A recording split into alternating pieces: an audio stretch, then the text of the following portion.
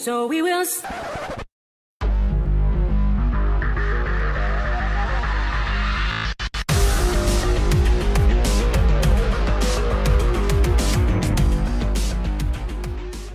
Hello, my fellow Latter-day Saints. Kenzie Retro the Woman Entertainer here, back with everything wrong with Tom and Jerry. And now, yes, I'm going to be going into Fraidy Cat. Now, I know what you're thinking. Why not do them all in chronological order? Because the night before, because the night before Christmas is specifically for Christmas. Yes, there will be some episodes that involve snow, but that's beside the point. The fact of the matter is, it's a Christmas episode, and I am going to be keeping that for Christmas. But nevertheless, it is Easter, and I am your Easter Bunny for this weekend.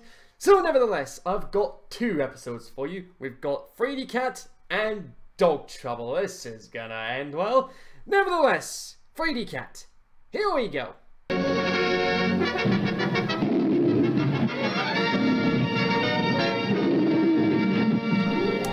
What they really should do is they really should start. They really shouldn't be recycling the music at this point because they really need to come up with something new at this point. Something a bit more memorable.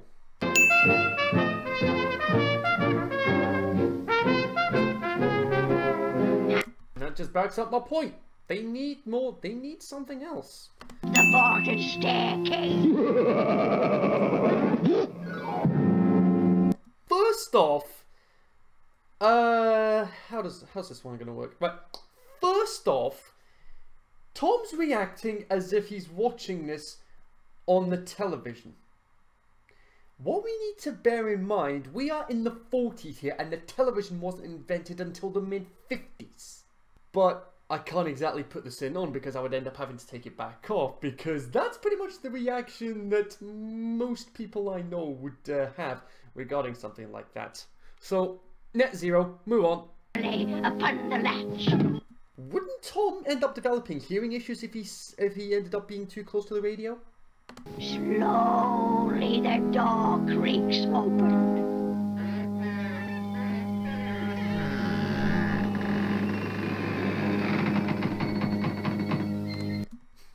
Okay, take one off because that was very creative. I'll give them that. I'll give them that. That was creative.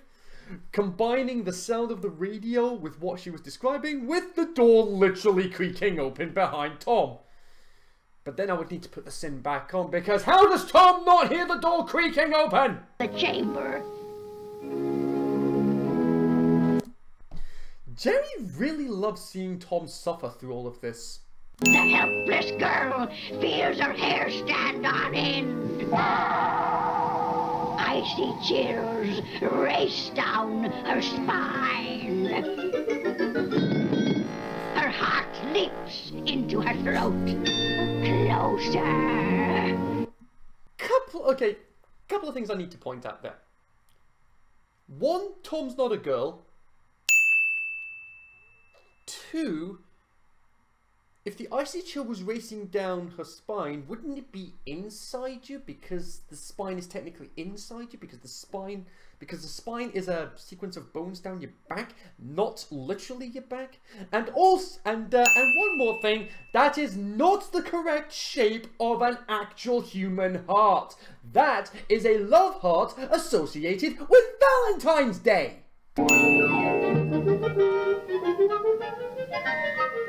And that practically backs up my point of why Jerry loves seeing Tom suffer. And you do believe in ghosts, don't you? I'm going to take a sin off because I'm classing that as a fourth wall break because it's as if she's talking to Tom and to us at the same time. That's a clear indication that Jerry's got an idea to make Tom suffer even more.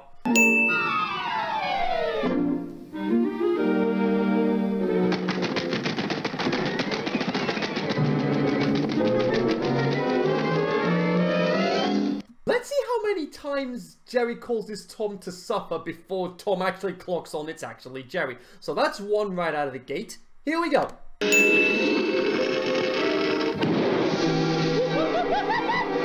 that would definitely result in some pretty severe burns.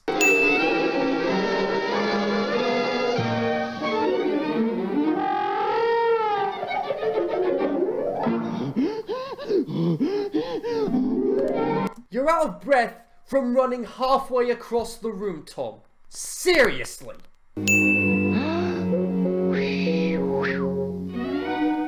Tom breathes a sigh of relief before more trouble ensues, cliche.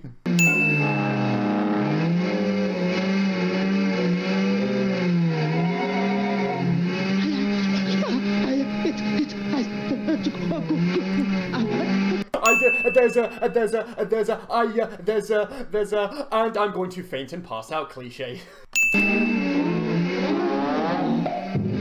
Called it!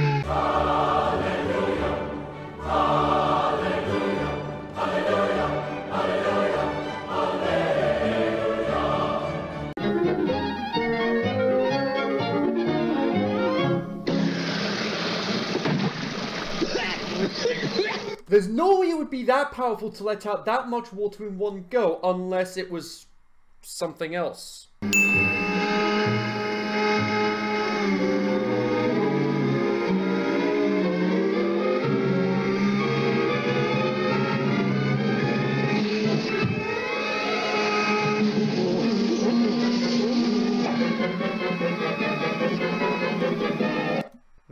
Vacuum are not that strong unless you've got a fan blowing in the opposite direction. Very strong fan for that matter. Hello, this is the operator. Will you please get off the line? this is the operator. Will you please get off? He's holding on to the telephone and it's connected to the... I'm taking a sin off on that one. That's, again, very creative.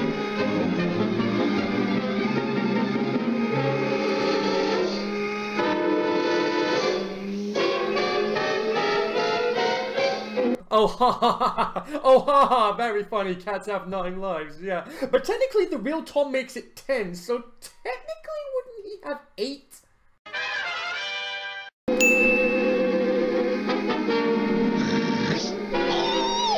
Tom got bitten by a ghost. Ghosts are see-through. You cannot touch them. They cannot touch you. Unless you are a ghost as well. Unless you are a ghost, you cannot be touched by another ghost. Nine ghosts, nine sins. Clearly number one's enjoying himself too much.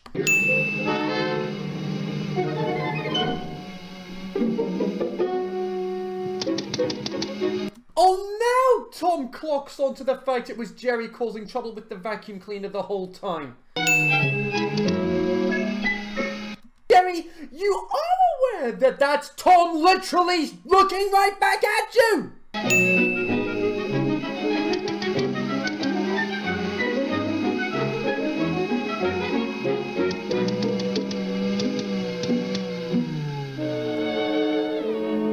It takes Jerry three attempts to realise he's actually got Tom right behind him. For that, three sins.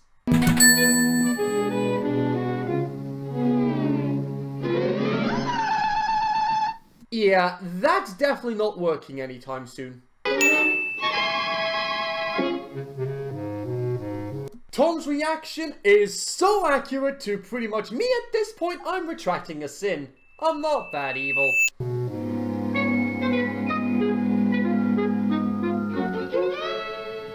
Even being cutesy ain't gonna work against a very ticked off Tom.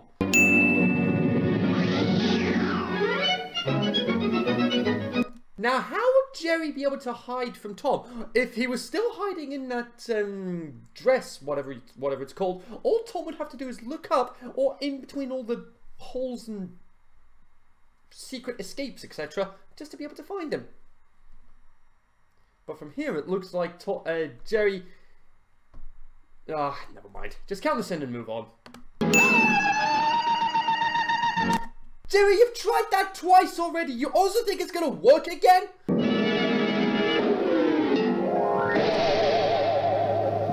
That would result in broken teeth. Big Mama with a rolling pin in hand? That's not a good sign. Oh, that's not a sin, by the way. I'm just making a point. That sounds like a burglar prowling around in that parlor. Or maybe it's just Tom and Jerry up to their usual shenanigans. Did you not consider that?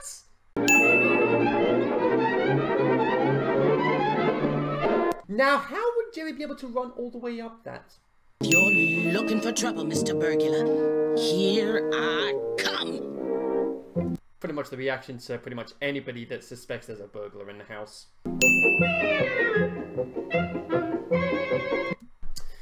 Oh dear. This one's not going to end well. Tom thinks the person in that nightgown is really Jerry, when in reality it's Big Mama. This is not going to end well, as we shall now eloquently demonstrate.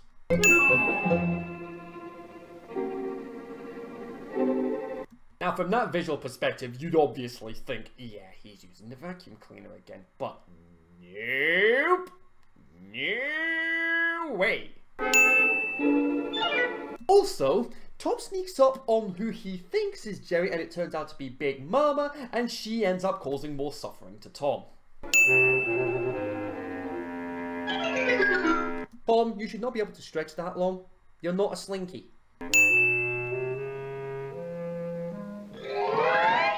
You shouldn't be able to surf. You shouldn't be able to surf underneath the table either.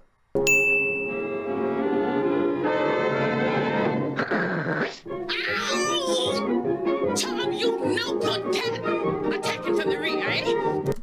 Telling attacker off for attacking from behind, cliche. We'll take this and this.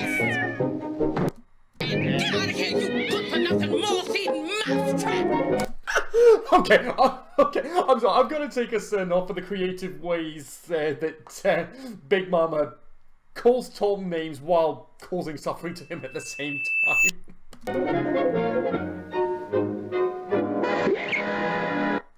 Jerry, that's your own reflection. That's the sort of mirror you'd, That's the sort of reflection you'd find in a hall of mirrors.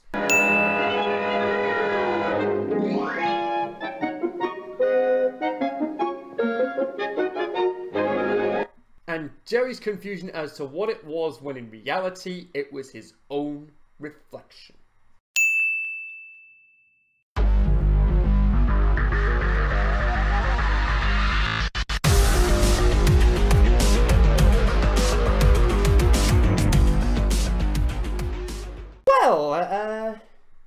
Shorter than expected because uh, I couldn't actually find I couldn't actually find that many here. But uh, here's hoping I still got a fair uh, amount. Uh, but in any case.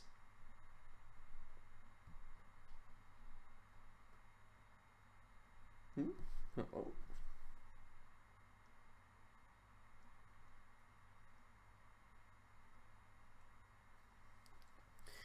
Uh, in any case, uh, that does it for today's episode of Everything Wrong with Tom and Jerry.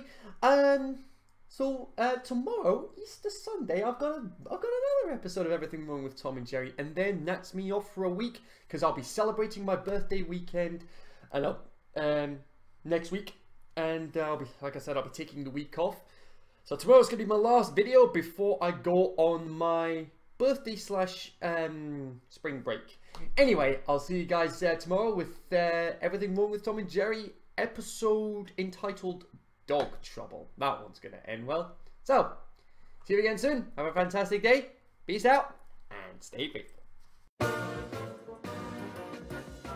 Also, Tom sneaks up on who he thinks is Jerry and it turns out to be Big Mama and Big Mama causes trouble. No, she doesn't cause trouble. Also, Tom sneaks up on what appears... And that backs up my point about Jerry loving to... Dang it.